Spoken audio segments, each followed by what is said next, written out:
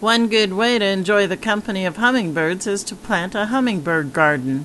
The garden is also a great way to capture the birds on film or video and makes a much nicer backdrop for your photos than the typical plastic feeders. If you plan carefully and select a variety of plants that flower throughout the season, you will be rewarded with happy hummers all summer. His long beak reaching to sup the red syrup from the feeder, tasting the sweetness of the nectar is all that is on his mind. With a shrill chirping sound, the tiny sentry guards his treasure, chasing intruders away. Another tiny feathered friend in the garden hanging in midair, suckling the sweet nectar from the depth of the blossom, his tiny wings flapping fifty times per second like there is no tomorrow flitting here and there, upside down, right side up, backwards, forward.